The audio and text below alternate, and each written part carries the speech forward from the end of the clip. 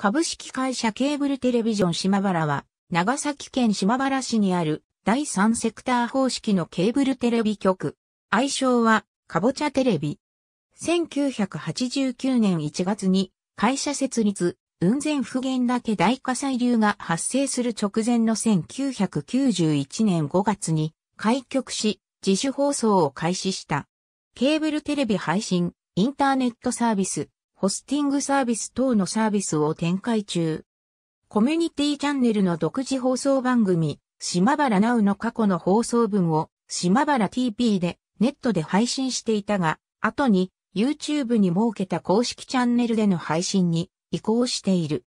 また2006年3月から2008年5月までは、ポッドキャストによる番組配信も展開し、Apple が運営しているオンライン音楽配信サービス iTunes ストアでも配信されていた。2007年12月より、島原市議会のインターネットでのライブ配信及び VOD 配信を開始。サービスエリア全域において、雲仙市に本社を置くひまわりテレビが進出しており、競合関係にある。